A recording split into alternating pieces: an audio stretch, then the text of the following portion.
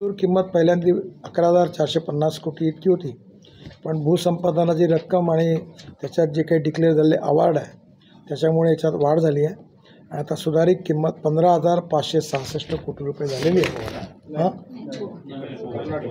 मुंबई मुंबई गोव्याचं आणि याच्यामध्ये आम्ही जास्तीत जास्त आता तर स्थिती अशी आहे की मला अनेक लोक म्हणायला लाग म्हणायला येतात की आमची उरलेली जागा तुम्ही ॲक्वायर्ड करा. पण मोठ्या प्रमाणात आम्ही योग्य मोबदला कदाचित शेतकऱ्यांचं घरमालकांचं बिल्डिंगवाल्यांचं कुठलंही नुकसान न करता आपण हे केलेलं आहे. यात रायगड जिल्ह्यात चौऱ्याहत्तर किलोमीटर लांबी आहे. पन्नास किलोमीटर चारपत्रीकरण पूर्ण झालं. रत्नागिरीमध्ये एकशे नव्याण्णव किलोमीटर लांबी आहे. एकशे अठरा किलोमीटर चारपत्रीकरण पूर्ण झालं. सिंधुदुर्ग जिल्ह्यात ब्याऐंशी आहे. तर ब्याऐंशी किलोमीटर चारपत्रीकरण पूर्ण झालं. एकंदर तीनशे छप्पन किलोमीटरपैकी दोनशे पन्नास किलोमीटर पूर्ण झालेले आहे. त्याच्यामुळे आता पुष्कळचं काम पूर्ण झालेलं आहे. त्यामुळे हे दहा पॅकेज जे आहे याचंही काम आता पूर्ण करण्याकरता जुन्या इतिहासात काही जात नाही मला कोणाला जबाबदार पकडायचं नाही.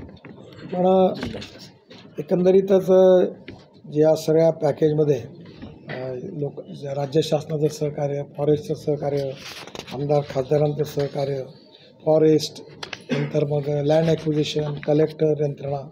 एकंदरीत अडचणीही आल्या त्या सोडवल्याही गेल्या. महाराष्ट्र सरकारचे मिळालं सहकार्य.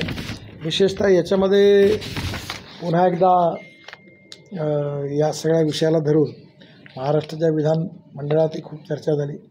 रवींद्र चव्हाण जे होते ते मुद्दाहून माझ्याकडे भेटायला आले. त्यांना सगळं प्रेझेंटेशन दाखवलं मी. आणि आता जवळपास हे रस्त्यावर आहे. आणि दुर्भाग्याने बरेचसे कॉन्ट्रॅक्टर ज्यांना दिले ते टर्मिनेट करावे लागले. त्याचं लिगल प्रोसिजर आहे. कोर्टात सगळ्या केसेस गेल्या. लँड ॲक्विशनच्या कोर्टात केसेस गेल्या. एन्व्हायरमेंट फॉरेस्टची क्लिअरन्स अनेक दिवस अटकलीत. आणि इथे कोकणात काही छोटे छोटे जमिनीमध्ये एक एक एकरात आधा एकरात दहा जमीन मला मग याच्या नावाने मग त्याचे मुलं मग त्यांच्या आपसातले विवाद अशा अनेक अडचणी होत्या. पण अडचणीवर मात करून आता जवळपास मार्गी लागलेला आहे. त्यामुळे डिसेंबरमध्ये हा प्रकल्प आम्ही नक्की आपण तीन वेळा डिसेंबर बोललात पण नेमकं